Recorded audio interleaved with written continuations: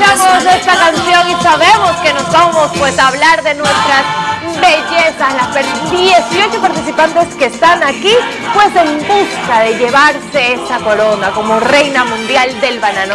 Y este fin de semana se llevó a cabo la elección del traje típico y también pues el traje de fantasía respectivo. Cada una pues llevó su atuendo con que se puede llegar a caracterizar y a representar más su país.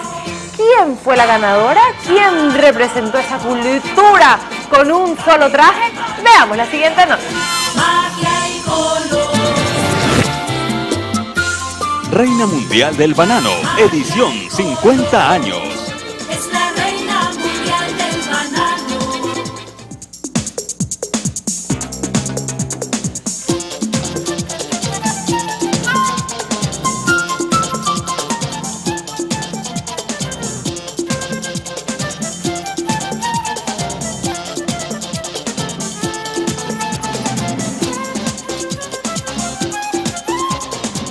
Color, arte y belleza se fusionaron en la noche de la elección del mejor traje típico y fantasía de la Reina Mundial del Banano 2013.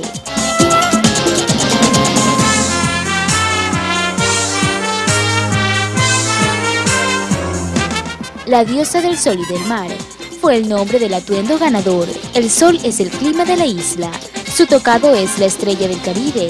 Las monedas en el traje que lució la puertorriqueña Natasha Muñoz representan la riqueza y el escudo es la lucha de su pueblo, que la hizo acreedora al mejor traje típico.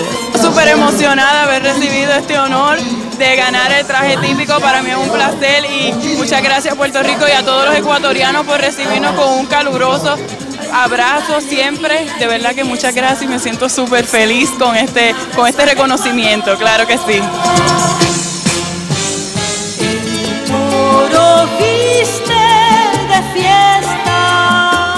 Mientras Lena Castillero de Panamá tuvo el mejor traje fantasía. Ella lució un atuendo denominado el oro del Cerro Quema, que representaba como la madre tierra, celosa de sus tesoros, toma forma de mujer y reencarna vestida de oro para cuidar las riquezas que hay en el país centroamericano. Estoy muy contenta por haber ganado el traje de fantasía, pues como ven es un vestido bastante elaborado y costó traerlo, pero todo eh, esfuerzo trae su recompensa y aquí está. Y por supuesto, reconocer la labor del diseñador panameño Javier Hernández. Un beso enorme y muchísimas gracias. Y aquí te lo llevo con mucho orgullo. La elección premió a la mujer que mostró la mejor vestimenta tradicional de los 18 países participantes en el concurso de Reina Mundial del Banano 2013, que escogerá a su soberana este 21 de septiembre en Machala.